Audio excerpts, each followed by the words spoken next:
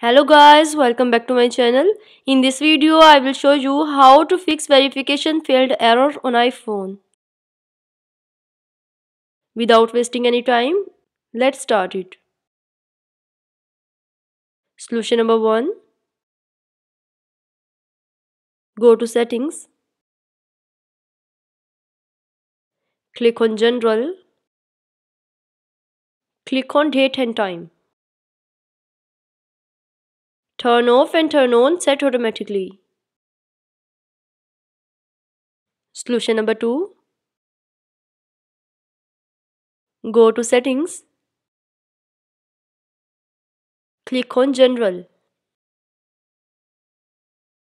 Click on transfer reset iPhone. Click on reset network settings. Enter screen time passcode. Again click on reset network settings to confirm this process. Solution number 3. Go to settings.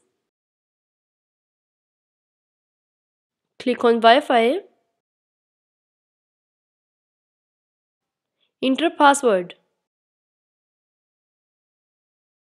Make sure that your iPhone is connected to internet. Solution number 4.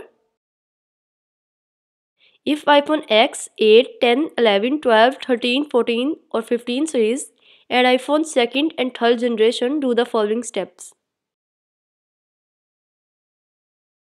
Quickly press and release the volume up button. Next, quickly press and release the volume down button. Finally, press and hold the side or power button until you see the Apple logo. I hope your problem will be solved. Thanks for watching.